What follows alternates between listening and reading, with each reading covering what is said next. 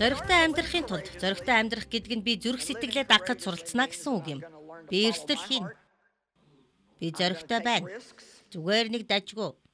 Дундаж байхын төлөө биш. Ингээл нэг байдгийн төлөөч биш.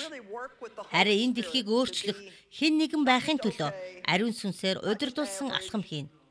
Та нарын хідэн энэ үл анзаарагдсан амьдралаас гарч харин дэлхийд өөрийн ул мөрийг үлдээж таны амьдарч байсныг олон мянган жилийн турш дурсан ярих нэгэн байхыг хүсэж байна вэ?